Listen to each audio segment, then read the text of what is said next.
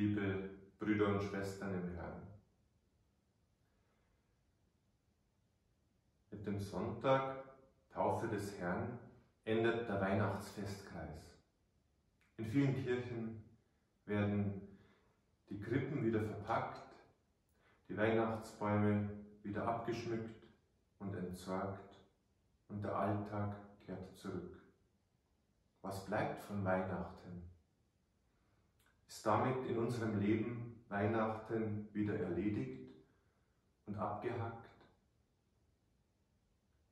Sollte sich nicht irgendetwas verändert haben, wenn wir richtig Weihnachten gefeiert haben? Nur was? Woran kann man erkennen, dass wir von Weihnachten, von der Menschwerdung Gottes wirklich ergriffen wurden? Äußerlich werden wir es wahrscheinlich nicht merken, dass wir ab sofort mit einem heiligen Schein durch die Straßen laufen. Aber gerade zu diesem heiligen Schein möchte ich Ihnen eine Geschichte erzählen. Wie das Kamel zu seinen Höckern kam. Das Kamel, das die drei Weisen zum Christkind in der Krippe begleitet hat, durfte genau wie die Könige dem Kind begegnen. Und wie es dort an der Krippe kniete, da bemerkte es, dass die Weisen, angesteckt vom Glanz des Christkindes, einen strahlenden Heiligenschein über dem Kopf hatten. Auch über dem Haupt des Kamels leuchtete ein Heiligenschein. Das Kamel war sehr beschämt, denn es war ja nur ein einfaches Kamel. Da griff das Christkind nach seinem Heiligenschein, spaltete ihn in der Mitte und legte die beiden Hälften dem Kamel auf den Rücken und sagte, du sollst immer an diese Begegnung denken.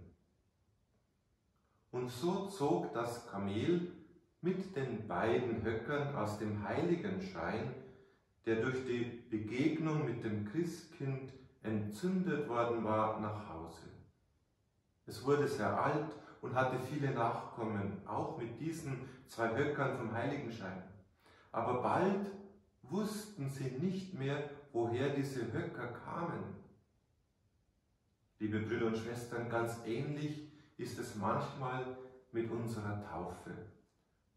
Natürlich tragen wir von der Taufe keine sichtbare Veränderung davon, aber unsichtbar in unserem Herzen, da gibt es so diesen heiligen Schein.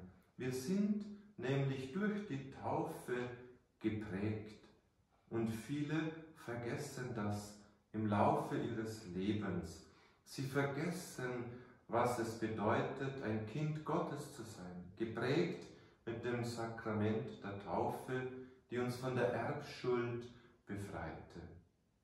Wer aber in seinem Leben die Begegnung mit Christus immer neu sucht, wer Weihnachten und all die anderen Feste gut mitfeiert, der vergisst auch nicht, dass er getauft ist, dass dieser heiligen Schein, den wir durch die Taufe bekommen haben, in uns ist und in uns leuchten soll. Taufe Jesu, dessen Fest wir heute feiern, erinnert uns an unsere eigene Taufe. Bei der Taufe Jesu öffnete sich der Himmel und es strahlte von oben der Heilige Geist in Gestalt einer Taube herab. Die Stimme des Vaters war zu hören, du bist mein geliebter Sohn. Und das ist ein freudiges Ereignis. Können wir nicht vielleicht auch sagen, dass so eine Art Heiligenschein über Christus da zu sehen ist? So wie bei unserer Taufe der Heiligenschein in unser Herz gelegt wird und Gott zu uns gesagt hat, du bist mein geliebtes Kind. Und es soll ein echter Heiligenschein sein, denn wer das Wort Heiligenschein umdreht, wird scheinheilig. Und beim Scheinheiligen ist der Heiligenschein nur äußerlich. Er dringt nicht nach innen ins Herz. Der Mensch gibt sich dann nur so, ist es aber nicht. Bewahren wir uns den heiligen Schein des Herzens, der uns durch die Taufe eingegossen wurde. Möchte auf die Eingangsfrage zurückkommen. Was bleibt von Weihnachten? Es wäre schön, sagen zu können, der Heiligenschein, das Strahlen unseres Herzens über dieses Geheimnis, dass Gott Mensch wurde, um uns zu erlösen. Christus erniedrigte sich und ließ sich sogar von Johannes taufen, um uns zu zeigen, dass er einer von uns geworden ist. Wir wollen seine Sakramente empfangen, damit wir einmal zu Gott erhöht werden. Bewahren wir uns den Heiligenschein. Entzünden wir diesen Heiligenschein immer wieder an der Krippe, dass wir von diesem Geheimnis ergriffen werden und ausstrahlen.